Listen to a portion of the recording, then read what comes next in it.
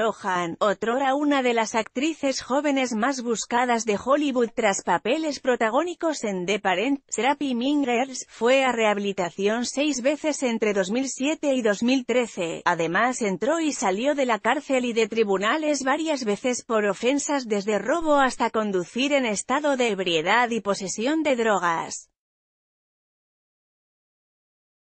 Su último trabajo, fue una película de suspenso de bajo presupuesto en 2013, The Canyons, tras lo cual se trasladó a Londres y más tarde a Dubái.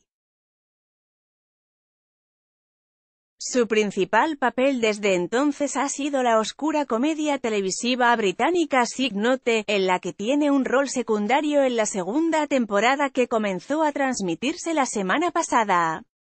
El club de playa de Mykonos es el tercer emprendimiento comercial de Lohan en Grecia después de la apertura en 2016 de una discoteca con su nombre en Atenas y una casa de playa en Rodas que se inaugurará este verano.